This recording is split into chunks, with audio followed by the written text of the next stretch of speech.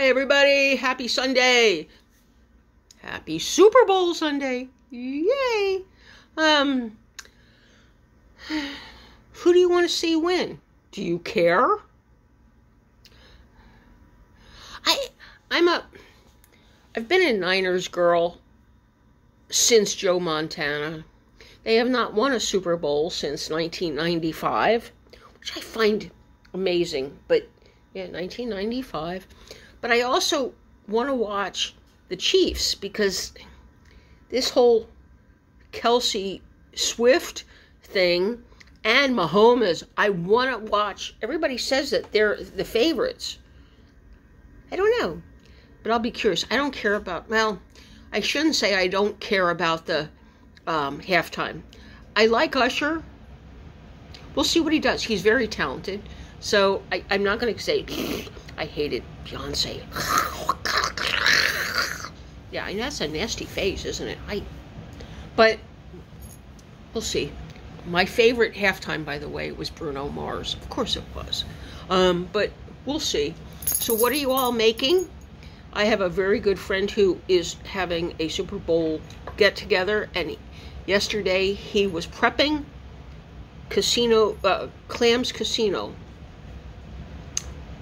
I have a seafood allergy, but I can eat those if there's a lot of breadcrumbs and cheese. But I do, I do like them. Um, me, I'm making queso with chorizo. Now, now, just wait. That's similar to queso fundido that you bake in the oven. No, I'm making this on the stove.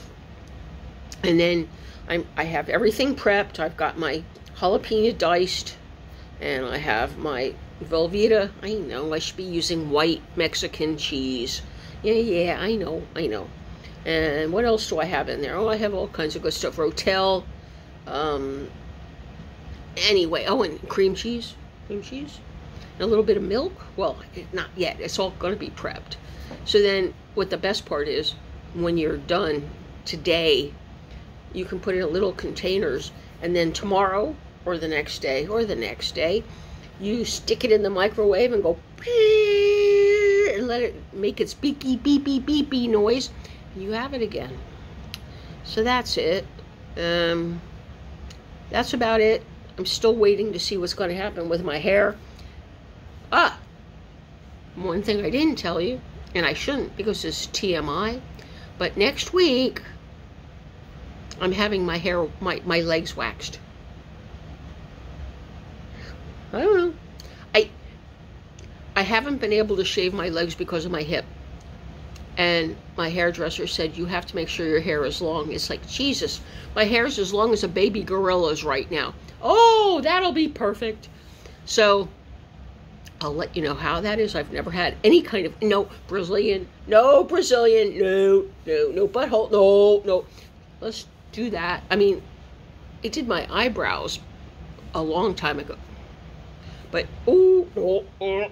Anyway, excuse me as I burp. I love you all. Mwah. Ciao.